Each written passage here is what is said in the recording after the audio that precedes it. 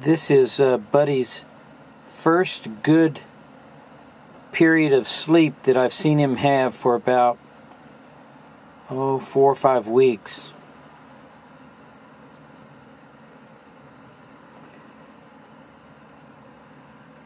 He has a lympho edema, lymphoedema, I believe, in his left leg. And he's had a hell of a time with it. He's on two antibiotics.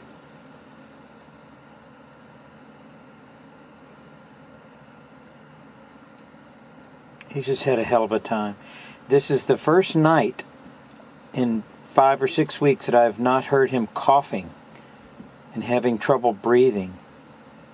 So I'm hopeful that the two antibiotics, doxycycline and Clavamox, are working for him.